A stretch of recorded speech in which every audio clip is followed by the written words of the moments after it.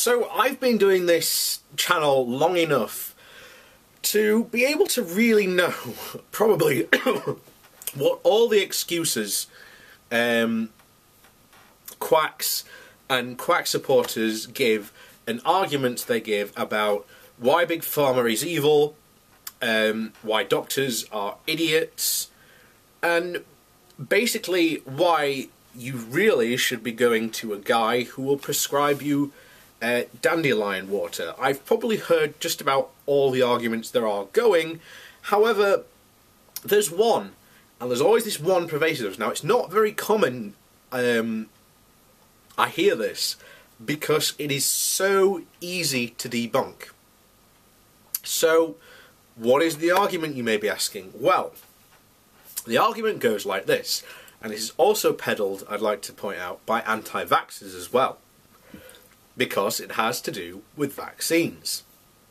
In fact, not only this, but they've also, as we've said, lumped it into the to the uh, big pharma conspiracy as well, because this is an attempt to prove that all our medical advances that we have made, um, really, over the past uh, 20, 30, 40, 50 years, 60, you can keep on going, are for nothing. They were completely wrong because people weren't paying attention to sanitation. Yes. The argument you will commonly hear from these people, and it's very rare you hear it, but it's you will get it, is basically this. They basically make the claim that vaccines like measles, the measles vaccine, uh, was not what got rid of measles, it was sanitation that got rid of measles. Now, this is absolutely false to begin with. First of all, uh, they disregard um, any dates of vaccine programs, and you can go on and you can look for the entire history of UK vaccination programs. They discount these completely. What you will get is a graph that basically shows um, death by uh, deaths of measles from I think it's something like the late um, 1800s right through to modern times. And quite rightly, you basically see a graph starting high at the top and then it goes literally next to nothing as we are, you know, now.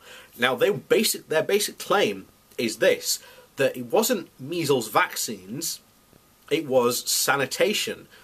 Because somehow sanitation cleaned everything up.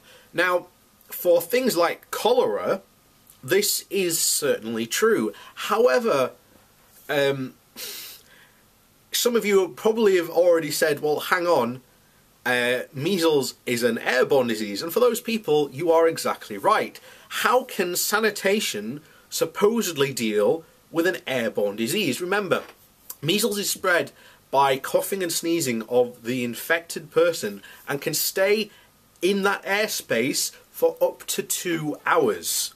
That's how long it can live outside a human, the virus can live outside a human body. Of course, sanitation only applies to water and, you know, that type of thing.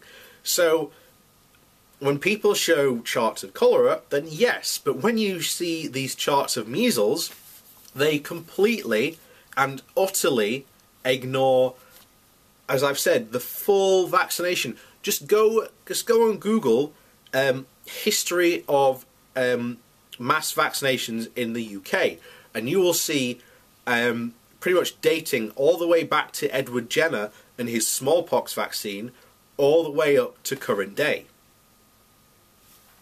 and they completely um, refuse to add these. In fact, the graph they show, and this is how really stupid they are, because a graph is a showing information. And basically, what this graph shows is you have deaths on one side, years on the bottom, and then you have a line that tracks them. Where on this lag, on this graph, or in these, you know, lines, where is this data to show that sanitation is having an effect on measles? Now remember, sanitation mainly um, helped to solve the problem of waterborne uh, viruses and illnesses like cholera. However, remember, measles is an airborne virus. That's how it spreads. How does sanitation affect an airborne virus? And that's literally how you respond to them when you say that. But and then you get the usual kicking and screaming of stuff. It's just oh, uh, but yeah, this is another ridiculous argument that gets brought from time to time. But it's you don't see it very often. But when you do, just literally reply to them. How does sanitation, which is again to do with water, solve the problem of an airborne virus? So that's that little uh, debunking for the day.